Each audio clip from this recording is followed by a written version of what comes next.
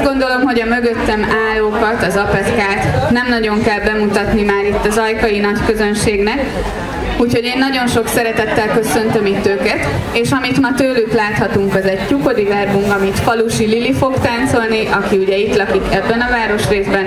Aztán követi egy tyukodi lassú és friss csárdás, Hoffman Anna és Pap Edwin előadásában. Ők mindhárman, akik táncolnak, szóló táncversenynek a díjazottjai. Aztán utána egy magyar bőli koreográfia következik, ahol a lányok karikázót járnak, a fiúk meg jól megtáncoltatják majd őket. A tanáraik pedig a jól ismert Kovács Norbert Cimbi és felesége Gaslár Beáta. Fogadjuk őket nagy szeretettel!